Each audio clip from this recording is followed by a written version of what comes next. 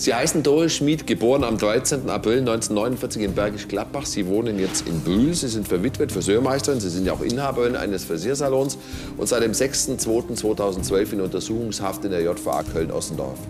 Um eine Ehe zwischen ihrem Sohn und Nadja Petrova zu verhindern, schlich die Angeklagte am 5. Februar 2012 um 19.10 Uhr der jungen Frau hinterher, als diese in den Keller des gemeinsam bewohnten Hauses in Brühl ging. Als Nadja Petrova sich dort über die offene Kühltruhe beugte, schlang die Angeklagte ein Elektrokabel von hinten um Nadja Petrovas Hals und zog zu. Bei dem Versuch, sich zu wehren, prallte Nadja Petrova mit der Stirn so hart gegen die Wand der Kühltruhe, dass sie sich eine Platzwunde sowie ein Schädelhirntrauma ersten Grades zuzog und bewusstlos zu Boden stürzte. Die Angeklagte glaubte, die junge Frau sei tot und schleifte sie über die Kellertreppe in ihren Wagen. Hierbei erlitt Nadja Petrova drei Prellungen am Hinterkopf und ein Schädelhirntrauma zweiten Grades. Dann brachte die Angeklagte die vermeintliche Leiche in den nahegelegenen Wald. Von dort konnte sich Nadja Petrova zu einer Landstraße schleppen, wo man sie fand und ins Krankenhaus brachte. Hinsichtlich der fahrlässigen Körperverletzung beharrt die Staatsanwaltschaft das öffentliche Interesse an der Strafverfolgung. Die Angeklagte wird somit des versuchten Mordes in Tateinheit mit gefährlicher Körperverletzung und der fahrlässigen Körperverletzung beschuldigt. Strafbar gemäß Paragraphen 211. Frau Schmid, soweit die Anklage. Wollen Sie sich dazu äußern? Ja, und ob ich was dazu sagen möchte? Nichts, was dieser Mann da vorgelesen hat, habe ich gemacht. Ich könnte mich heute noch in den Hintern beißen, dass ich diese beiden Damen zu mir nach Hause eingeladen habe. Ach, und ich, dumme Kuh, ich lasse die noch zwei Wochen bei mir wohnen. Also mit Damen meinen Sie die Nadja Petrova und die Yvonne Küfer?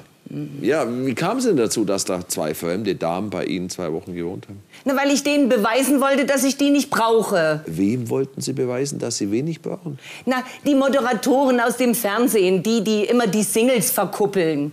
Ich habe bestimmt ein Dutzend Mal an die Redaktionen geschrieben, damit die meinen Fred vermitteln. Aber, aber die haben es einfach nicht gemacht. Ich habe nur Absagen gekriegt. Wahrscheinlich war der denen nicht gut genug. Dabei ist mein Fred so ein richtiges, schönes Kerlchen. Sie brauchen gar nicht so zu grinsen. Ich habe nicht gegrinst. Ach. Nicht gegrinst. Mein Fred, der hat magische Hände. Wenn der den, Sal den Damen im Salon eine Kopfmassage macht, wissen Sie, dann schnurren die wie die Kätzchen.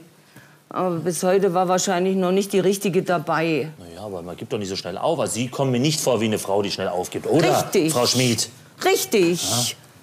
Richtig. Was die im Fernsehen können, das kann ich schon lange. Ich habe eine Annonce aufgegeben im Brühler Morgenecho. 30 Frauen haben sich da gemeldet. Und Sie haben aus diesen 30 dann die Yvonne Küfer und die Nadja Petrova ausgewählt, oder? Leider. Und mein Jürgen, oh Gott hab ihn selig, der würde sich heute noch im Grab umdrehen, wenn der mitgekriegt hätte, was bei uns zu Hause los war, nachdem die beiden bei uns eingezogen waren. War das nicht irgendwie mit ihrem Händchen doch irgendwie absehbar? Ich meine, die beiden sind grundverschieden, diese beiden Frauen. Da sagen Sie was. Ja. Die Nadja, die ist sowas von primitiv und, und gewöhnlich. Ich kann es Ihnen gar nicht sagen. Und bei der Yvonne dachte ich ja, vielleicht ist das doch die richtige für meinen, für meinen Fred. Aber die ist ja auch so eine Romantikerin.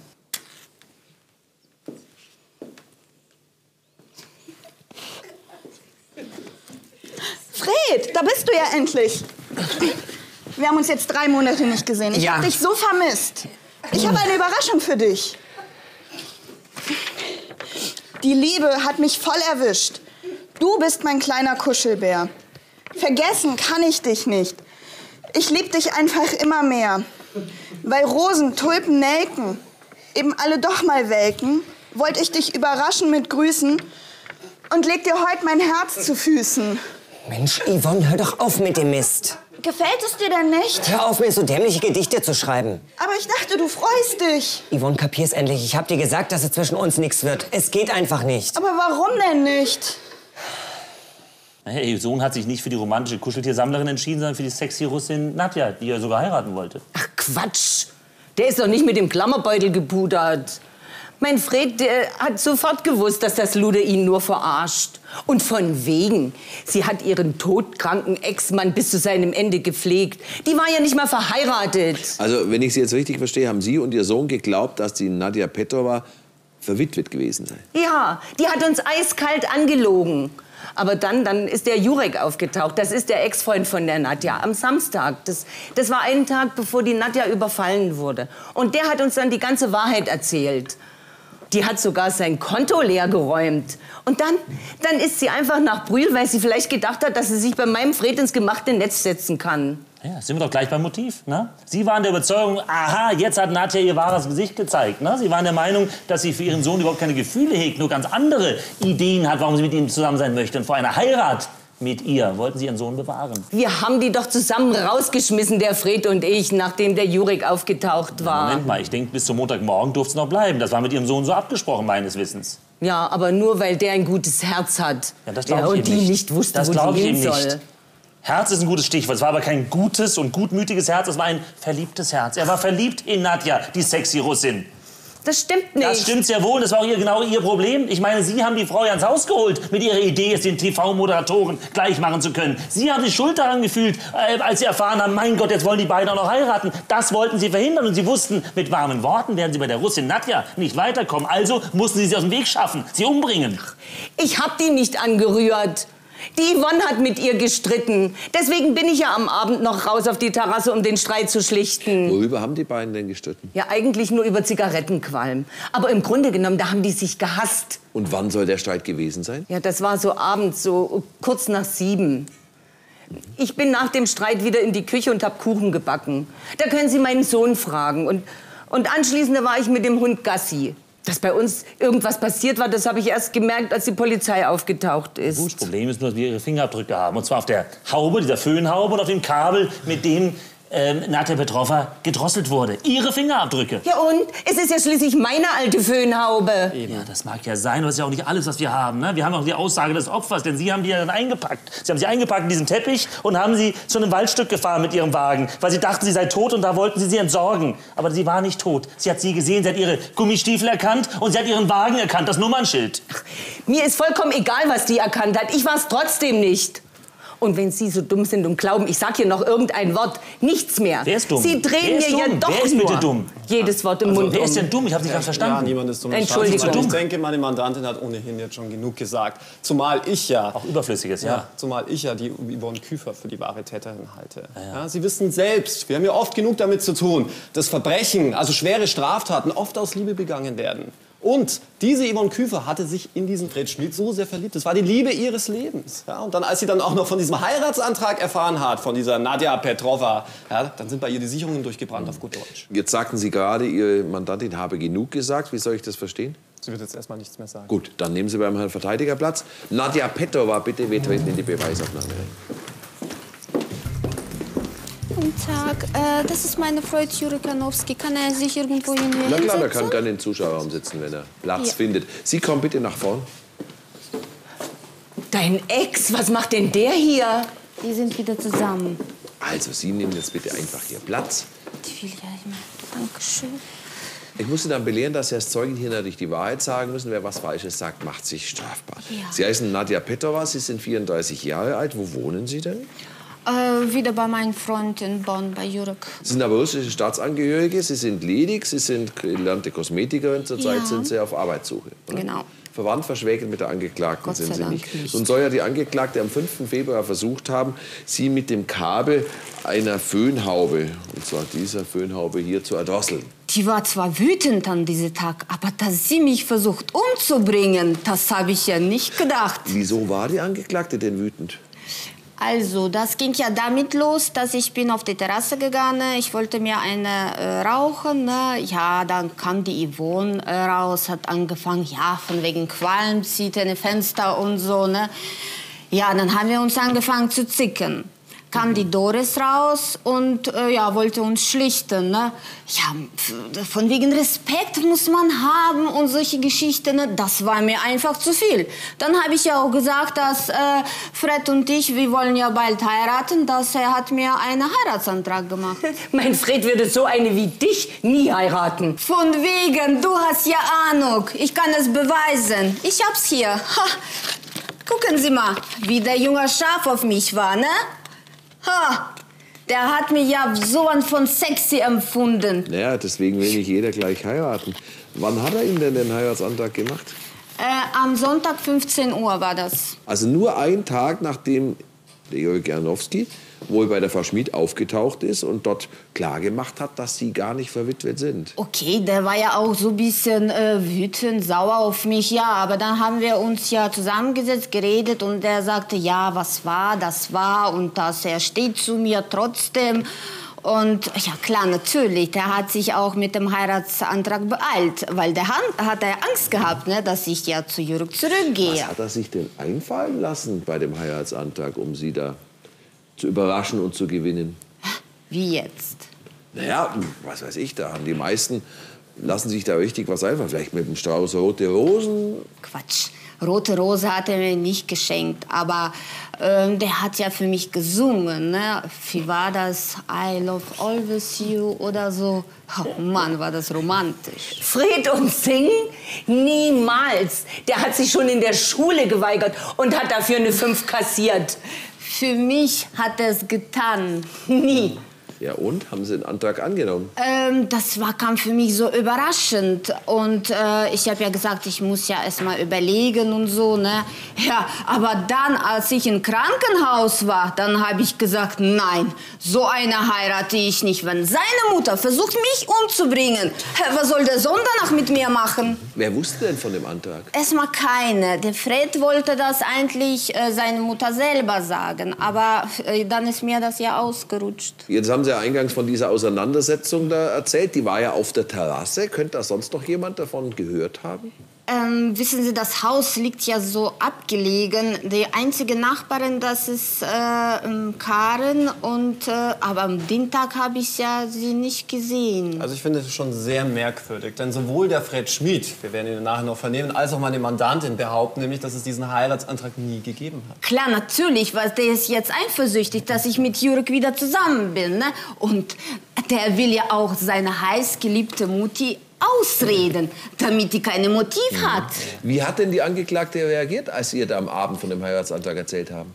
Ha, die ist völlig ausgeflippt, ne? Die hat ja rumgeschrien. Ich habe überhaupt nichts gemacht. Ich bin nicht ausgeflippt. Oh doch, und wie? Und warum hast du gesagt, oh, das ist immer noch mein Haus und mein Sohn und ich entscheide, was ist hier passiert? Das habe ich nicht. Oh doch. Und daraufhin, was habe ich dir gesagt? Wenn ich da reinziehe, nach einer Woche, dass ich mit dem Fred verheiratet bin, ziehst du freiwillig aus, dann packst du deinen Koffer. Ich mache dir so die Hölle heiß. Ja, und da haben Sie endgültig Angst bekommen, Frau Schmid, oder?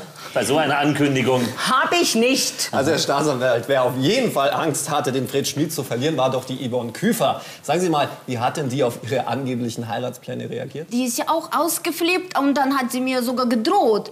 Die hat mir gesagt, äh, äh, ich werde doch das rauskriegen. Also ich werde das bereuen, dass ich ihr Fred weggeschnappt habe.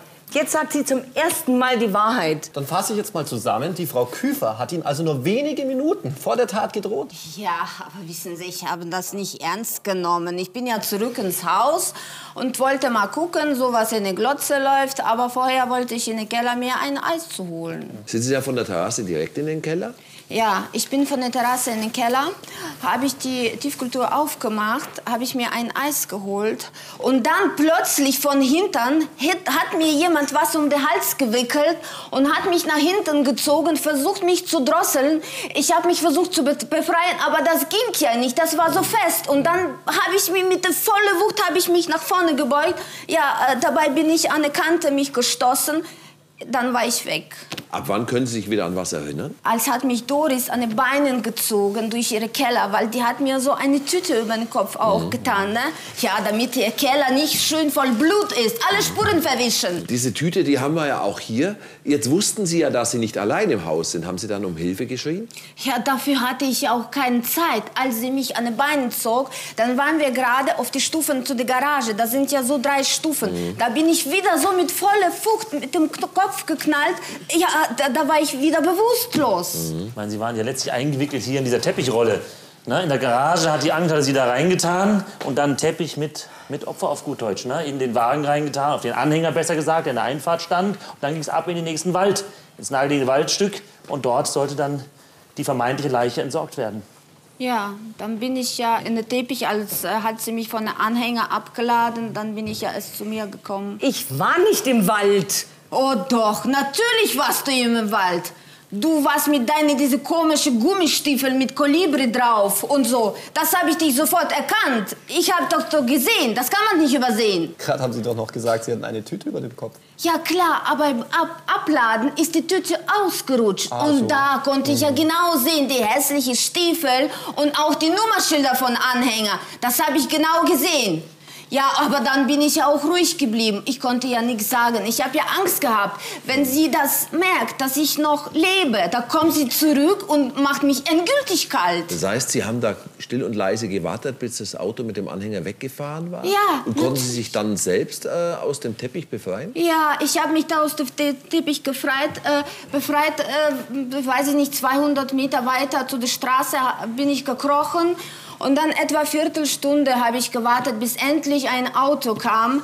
Ja, die nette Ehepaar hat mich ins Krankenhaus gebracht. Ja, dann habe ich die Doris sofort angezeigt. Ja, und Sie, Frau Schmid, wollen wirklich weiter bei Ihrer Linie bleiben? Ich frage Sie nur, Sie wissen ja auch von Ihrem Verteidiger, welche Zeugen dort noch kommen. Zwei Zeugen, die gegen Sie hier massiv aussagen werden. Ja, Herr Staatsanwalt, meine Mandantin hat doch noch nicht mal ein Motiv. Die hat doch diesen Heiratsantrag, sofern es ihn überhaupt gegeben hat, gar nicht mal ernst genommen. Im Gegensatz zu dieser Yvonne Küfer, ja? Die war nämlich sehr verliebt, oder nicht? Die war sowas von verliebt in Fred. Ne? Ich meine, diese Planschkuh, die hat ja so eine komische Tierbilder gestickt. Ne? Und noch nicht mal sich die Beine rasiert. Ne? Also die hat ja wirklich alle Register durchgezogen. Ne? So, so. Kennen Sie den Aladdin und Wunderlampe? Nee, wieso? das, Ja, persönlich nicht, aber die, die, die äh, Märchen werden Sie doch kennen, oder? Ach so, ja, selbstverständlich. Ja. Aladdin, vielleicht der neue Täter, Herr Staatsanwalt, ich weiß es nicht. Ja, nein, das Walross hat einmal das Freds Zimmer auf tausend und ein Nacht gemacht. Ne?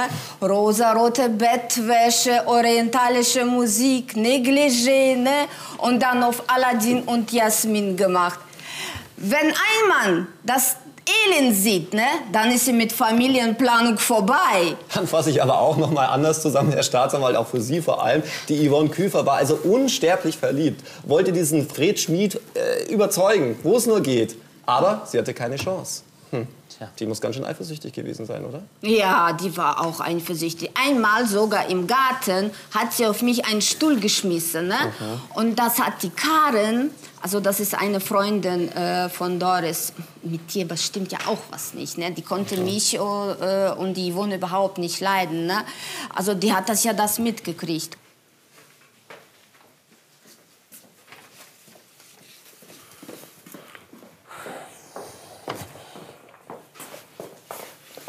Mensch, Fred, du hast das jetzt all die Jahre nicht gesagt. Warum willst du das ausgerechnet heute hier machen? Weil ich kann, Karin. All die Jahre hast du mich bekniet, dass ich endlich den Mund aufmache. Du warst sauer auf mich, weil ich meiner Mutter nichts gesagt habe. Und seit Nadja und Yvonne bei uns eingezogen sind, da haben wir beide uns nur noch gezopft, weil du mir nichts mehr geglaubt hast. Ja, jetzt fang nicht wieder damit an. Ich weiß, dass ich überreagiert habe. Ist ja jetzt auch egal, aber ich verstehe nicht, dass jetzt, wo ich den Schritt tun möchte und alles sagen will, dass du dann Rückzieher machst. Warum denn nicht? Ja, weil das heute nicht der richtige Zeitpunkt ist. Karin, der Anwalt meiner Mutter hat gesagt, dass der Staatsanwalt glaubt, dass meine Mutter Nadja ausgenockt hat, weil sie dachte, dass ich Nadja heiraten will. Aber wenn wir alles sagen, dann glauben Sie uns vielleicht mit ein bisschen Glück und dann glauben Sie meine Mutter auch endlich, dass es diesen Heiratsantrag nie gegeben hat. Ich weiß, dass du dir Sorgen um deine Mutter machst. Aber es macht doch keinen Sinn, heute alles zu sagen. Ich meine, deine Mutter wird aus allen Wolken fallen. Aber es hilft ihr überhaupt nichts, weil sie damals davon doch auch noch keine Ahnung hatte. Bitte, Fred. Heute passt es einfach nicht. Herr Staatsanwalt, Sie haben leider die falsche hier bei mir sitzen. Ja? Spätestens in Freds Schmieds Vernehmung wird sich das auch zeigen, dass ich recht behalten werde. Noch Fragen hier an die Frau Petrova? Danke, dann dürfen Sie den Platz nehmen. Fred Schmid, bitte. Die Zeugin bleibt unvereidigt.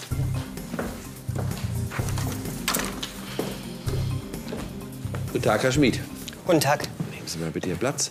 Sie wissen, dass Sie als Zeuge die Wahrheit sagen müssen. Wer was Falsches sagt, macht sich strafbar. Ja. Sie heißen Fred Schmid, 34 Jahre alt. Sie wohnen in Bühl. Sie sind ledig. Sie sind Friseur im Salon Ihrer Mutter. Und ja, die Angeklagte ist Ihre Mutter. Damit haben Sie ein Zeugnisverweigerungsrecht. Wenn Sie nicht wollen, müssen Sie nicht aussagen. Nö, ich sag aus. Meine Mutter kann es nicht gewesen sein. Hm, Und was macht sie da so sicher? Zu der Zeit, als es passiert ist, war meine Mutter in der Küche. Sie hat einen Kuchen gebacken. Und ich war nebenan im Büro und habe gearbeitet. In welchem Zeitraum haben Sie sich da aufgehalten? Es war zwischen halb und viertel nach sieben. Sie sagen, Sie waren im Büro. Ich meine, das war ein Sonntag, da war Ihr Salon geschlossen. Kümmern Sie sich zu Hause quasi um die Buchhaltung Ihrer nee, Gott. Also wenn ich Zahlen sehe, dann kriege ich einen zu viel. Ich habe unsere Stammkunden abtelefoniert und habe ihnen vom Angebot der Woche erzählt. Foliensträhnen zum halben Preis. Ja, das belegt auch der Einzelverbindungsnachweis. Ne? Ja, und können Sie von Ihrem Büro aus denn Ihre Mutter in der Küche lückenlos sehen? Nein, aber ich habe sie gehört. Ich habe die Metallschüsseln klappern hören. Haben Sie auch was von diesem Streit auf der Terrasse mitbekommen? Oh ja. Die beiden haben sich draußen wieder gestritten wie zwei Furien. Es war echt total laut. Ich, ich habe ein eigenes Wort am Telefon nicht verstanden. Wer hat sich denn da gestritten? Ja, Nadja und Yvonne. Haben Sie gehört, worum es in dem Streit ging? Nö, ich habe das Fenster dann einfach wieder zugemacht. Und habe dann mal rausgeschielt und habe gesehen, dass sich meine Mutter um die zwei gekümmert hat. Und als sie wieder reingekommen ist, war sie auf 180. Woher wussten Sie, dass er auf 180 war? Weil sie den Teig, den Kuchenteig, auf die Arbeitsplatte geknallt hat, wie eine Blöde. Und eigentlich wollte ich mit ihr sprechen. Hab dann gedacht, ich warte noch ein bisschen. War dann circa Viertel nach sieben, dann bin ich in die Küche gegangen. Und da war sie gerade mit dem Obst für den Kuchen beschäftigt und hat sich noch mal furchtbar aufgeregt, dass sie anstatt der Himbeeren die Kirschen aufgetaut hat. Und dann habe ich mir gedacht, ich warte dann doch noch ein bisschen länger. Wo haben Sie dann den restlichen Abend verbracht? Ich war in meinem Zimmer im ersten Stock und habe mir eine DVD angeguckt. Kann es sein, dass Sie lügen, um Ihre Mutter zu schützen? Wie bitte? Jetzt geht das wieder los. Ich sage es gerne nochmal. Lügen Sie hier für Ihre Mutter, weil Sie sie schützen wollen, weil Sie genau wissen, dass Ihre Mutter die Tat begangen hat, weil sie sie vor einer Ehe mit Frau Petrova schützen wollte, bewahren wollte? Es gab keinen Heiratsantrag. Ich heirate doch nicht so ein sexsüchtiges, mannstolles Weib. Herr Schmid, dann hatten Sie also definitiv kein Interesse an der Nadja Petrova. Ist das richtig? Nee, also am Anfang fand ich es noch lustig, aber dann war ich nur noch genervt. Die hat mir bei jeder Gelegenheit ihre Brüste unter die Nase gehalten, hat mich auf eine primitive Art und Weise angebaggert. Das gibt's nur in einem schlechten Film. Und jetzt haben Sie gesagt, er hätte gar keine Chance mehr bei Ihnen gehabt. Das wundert mich schon sehr. Denn wenn Sie wirklich nicht an Herrn Schmid interessiert gewesen wären, dann äh, verstehe ich nicht ganz, warum Sie dann überhaupt auf die Annonce meiner Mandantin geantwortet haben. Und jetzt kommt's, warum sind Sie denn dann überhaupt ins Haus eingezogen? Ja, ich war ja auch durcheinander, weil nach der Trennung mit der Jurek, ich habe ja irgendwie Abstand gebraucht. Ne? ja, und dann wusste ich ja auch nicht, wohin. Aber äh, ich habe nachhinein das auch bereut. Das, das war nichts für mich.